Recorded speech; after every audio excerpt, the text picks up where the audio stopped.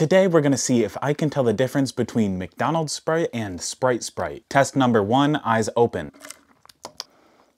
All right, that one was pretty easy. This is McDonald's, this is Sprite. I can tell because of the way they look. For the next test, I'm gonna mix them up and also close my eyes.